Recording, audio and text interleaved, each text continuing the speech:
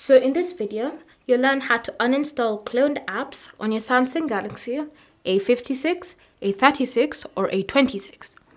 So if you no longer need to use the cloned app on your phone and you want to remove it, then this is what you need to do. Simply navigate to the Settings app, then scroll and select Advanced Features. From here, tap on Dual Messenger, and then you should see your cloned app which is the app with the toggle next to it, currently enabled. So because I've currently cloned Facebook, if I ever want to delete the clone, all I need to do is just tap on the toggle like that, and then confirm that I wish to uninstall the second copy of Facebook.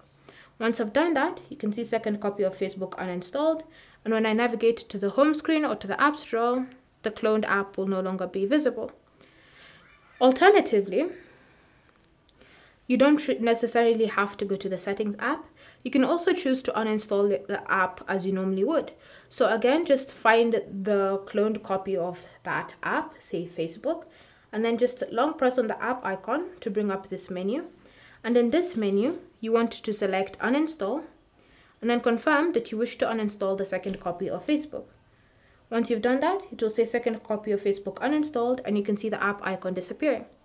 And so those are the two ways in which you can uninstall cloned apps on your phone. Thank you for watching. If you have any questions or comments, leave them down below and I'll get back to you.